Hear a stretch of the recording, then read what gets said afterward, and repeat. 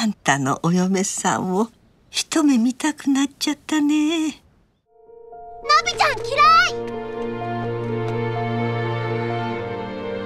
この子の名前どうする？のびのび太。会いたい。おばあちゃんに会いたいよ！生きてる。歩いてる。泣き虫のあんなに小さいのびちゃんがこんな立派な男の子になるんだね。僕はこんなだからもしかしたら静香さんを幸せにしてあげられないかもしれない。本当にどうしちゃったのかしら？のび太さんどうしよう？このままじゃのび太くん何もかも忘れてしまう。のび太さん！のびちゃんは本当の強さを持ってるんじゃないのかい？静香ちゃんだってそのことに気づいたから。僕は静香ちゃんとの未来を必ず取り戻す。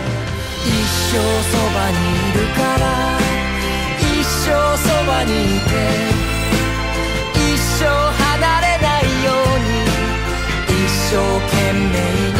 ドラえもん50周年記念作品「スタンドバイミードラえもん2」